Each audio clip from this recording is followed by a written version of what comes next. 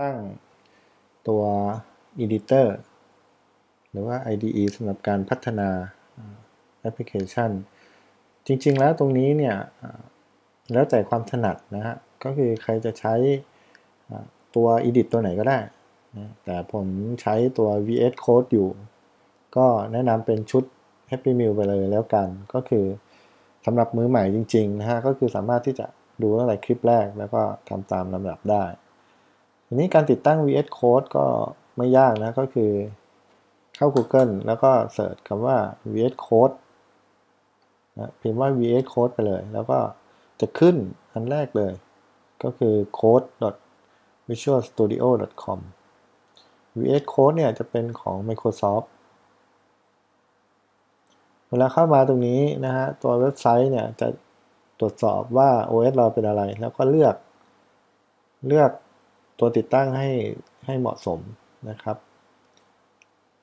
ใครใช้ OS อื่นก็ให้อ่านนะฮะว่า OS ของเราเนี่ยติดตั้งยังไง แต่วิธีการใช้เนี่ยก็จะใกล้เคียงกันทุก OS ทีนี้ถ้าเราติดตั้งผมใช้ Mac อยู่ ผมก็สามารถที่จะคลิกตรงนี้แล้วก็ดาวน์โหลดติดตั้งได้เลยแต่ตอนนี้เนี่ยผมติดตั้งไปเรียบร้อยแล้วนะฮะพอติดตั้งเรียบร้อยเราก็เรียกนะฮะเรียก Visual Studio Code ขึ้นมา หรือว่า VS Code หรือว่าโค้ดสั้นๆ เรียกว่าโค้ดก็ได้ เปิดขึ้นมานะฮะ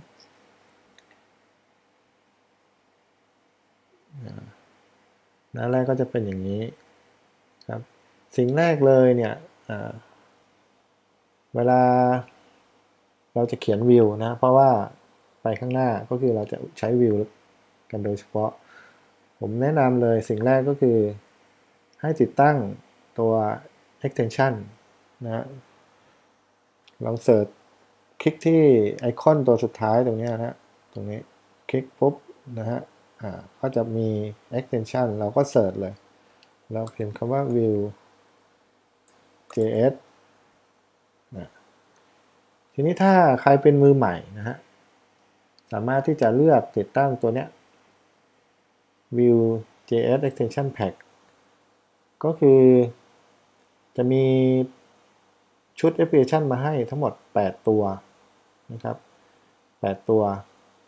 ก็คือมีคนรวบรวมไว้ให้นะฮะคือเรามือใหม่จริง ๆ เลย มาไม่รู้ว่าจะทำไงดี เราก็ติดตั้งตัวนี้ไปก่อน ก็คือติดตั้งให้ทั้งหมด 8 ตัว มีอะไรบ้างอะคลิกติดตั้งไปเลยนะฮะก็จะมี ESLint นะฮะมีตัวแนะนำโค้ด วลาเราพิมพ์อะไรพวกนี้นะฮะ มี snippet ก็คือเวลาเราพิมพ์อะไรไปแล้วบางทีนึกไม่ออกเนี่ย มันก็จะขึ้นแนะนำมาให้ มีการเปิดปิดพวก tag ต่างๆ มีการทำโค้ดให้สวยงามนะ code formatter ใช้ Prettier มี Vetur นะ Vetur ก็คือเป็นตัวจัดการ VS VS Code สำหรับ Vue นะมีคนพัฒนามาให้ ก็จะมีเครื่องมือเครื่องไม้เครื่องมือในการจัดการระดับหนึ่งนะซึ่งเดี๋ยวผมค่อยๆ แนะนำไปว่าใช้อะไรบ้าง แล้วก็มี VS Code สนิปเป็ดก็คือสนิปก็คือสมมติว่าพิมพ์คำสั่งที่เกี่ยวกับแท็กของวิวอย่างเงี้ยมันก็จะขึ้นแนะนำมาให้นะโอเค เดี๋ยวรอติดตั้งให้เสร็จนะครับ